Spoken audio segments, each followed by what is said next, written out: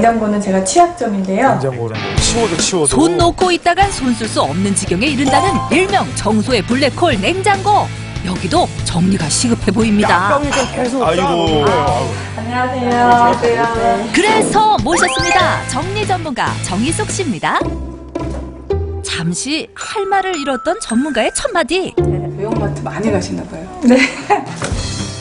시장에서 냉장고로 직행한 식품들이 한가득인데요.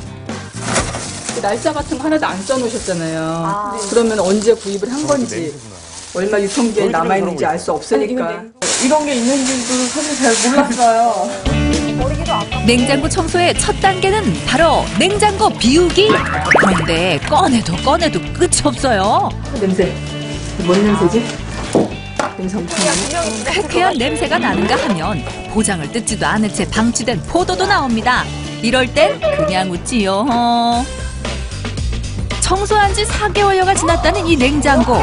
어마어마한 양의 식품이 쏟아져 나왔는데요. 이렇게 많은 음식이 상태가 또 꺼내보니까 더 심각한 것 같아요.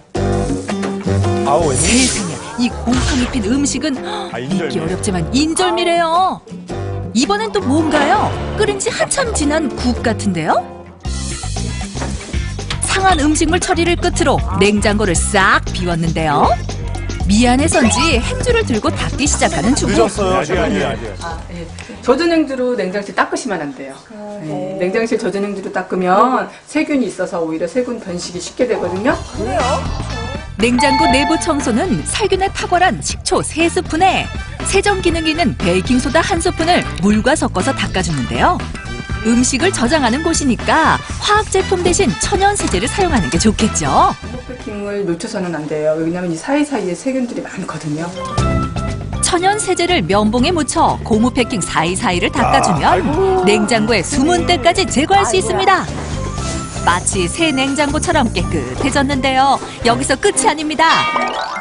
냉장고의 이곳 청소해 보셨나요? 바로 냉장고의 뒷면에 있는 통풍구.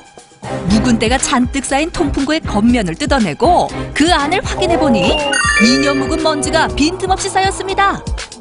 와, 전 냉장고 같은 경우는 필터만 저는 줄 24시간 알았고. 가동이 되기 때문에 이렇게 먼지가 많게 되면 전력 소비량도 높아지고 이 음식기에 먼지가 쌓이게 됨으로써 냉장고의 성능이 떨어질 수가 있습니다.